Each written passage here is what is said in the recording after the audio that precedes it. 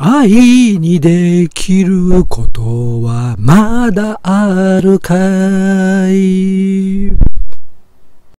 はい。ということでですね、今日はですね、私はこのアニメーションを見てきましたということで、ね、天気の子ということでしてね、はい、証拠これです、証拠。はい、証拠は、えー、っと、証拠ね、証拠。はい。えー、天気の子ということで今日見てまいりました。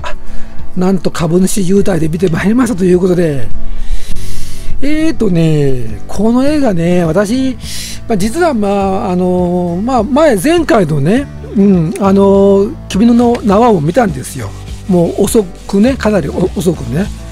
で、あんまり期待、期待というかね、まあ自分のね、まあね、年齢というか、まあ考えたんですけど、まあ見に行ったら、まあ誰も自分見たら年齢誰もいなくて、やっぱりしまったかなと思ったら結構感動して、やっぱ結構泣いてしまってね。で、今回もですね、まあ見に行こうということで、さっき意を決して行ってきました午前中にねでまあほかほかのところを皆さんにちょっとね私なりの感想ということでネタバレにならないようにこういうふうに来ながら手短にしますのでお聞きください。でですね今回はね、まあ、これですよね。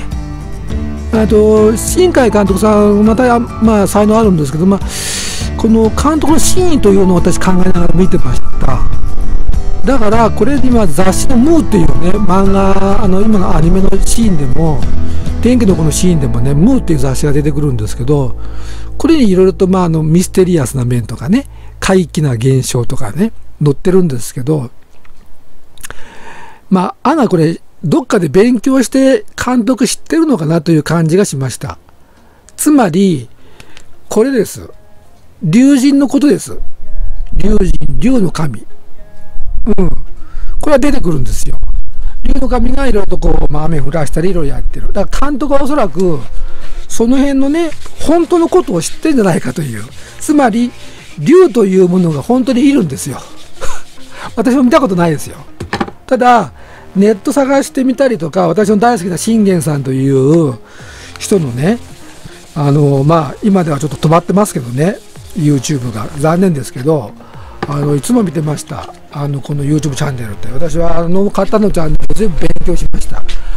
でですね実はこれ龍神というものがあの実際にいるということがね監督知ってんだろうなと、うん、やっぱりアニメでもねやっぱり漫画家でもね映画監督でもやっぱ作家でもねやっぱり一流どころの人は知ってますよ。皆さん本当のことをねうん、でそれを小出し小出しにしたという感じですよね。うん、つまり、まあ、あの雲の上の世界、ね、実は何にも生物ないって言われてるんですけど、まああのなんていうかな、うん、スピリチュアルとかあるいはあの SF っぽいような話で言うとね、うん、とかあるいはあのこううんとなるようなね話で言うと実はあの電磁波のね生物が生きていると。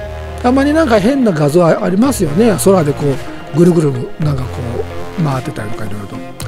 つまり成層圏とかああいうとこかな。もっと下の方かな。いろんな生物が実はいると地球のね。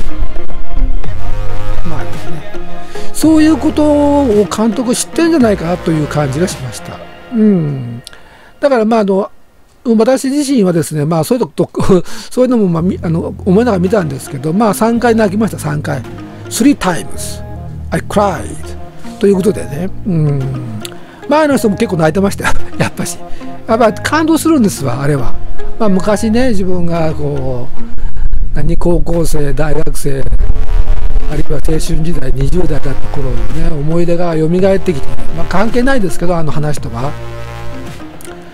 ああやっぱり若いっていうのはいいなという、まあ、今日は思いましたけどでも私の人生もこれからですからね皆さん。はいということで皆さんもしね天気の子見てなかったら見てください。大抵お金払った分だけの感動はあります。このいい年超えたおっさんの私が言うんですからね。間違いありません。では今日手短にしました。また次回お会いしましょう。